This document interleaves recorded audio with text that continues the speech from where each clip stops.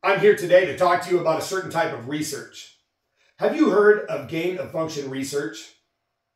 What gain of function research is, is scientists will take a pathogen, which is an organism that causes disease, and they will genetically engineer this pathogen to make it more likely to cause a deadly worldwide pandemic. This is called an enhanced potential pandemic pathogen.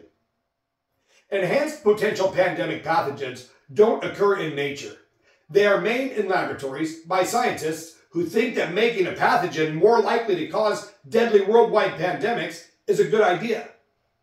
Have you heard of the concept of fucking around and finding out? Well, gain of function research that creates enhanced potential pandemic pathogens is considered a very advanced level of fucking around.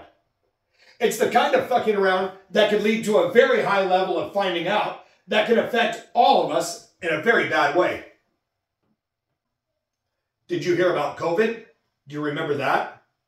While it's difficult to prove, there's a lot of evidence that suggests that SARS-CoV-2, the virus that causes COVID, is an enhanced pathogen that was made by scientists fucking around in a lab.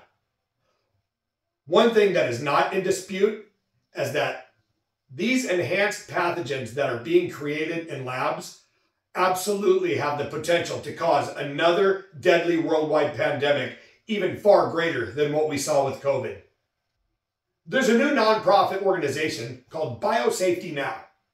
Biosafety Now's mission is to protect the public from deadly pandemics created by scientists fucking around with enhanced potential pandemic pathogens.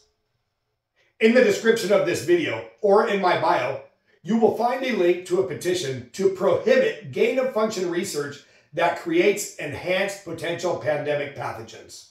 Go take a look at it. Now, I'm not telling you to sign the petition. In fact, if you enjoy pandemics, then this petition is not for you. But maybe, just maybe, it's time to stop scientists from fucking around before we all find out again. I hope you found this helpful. Thank you.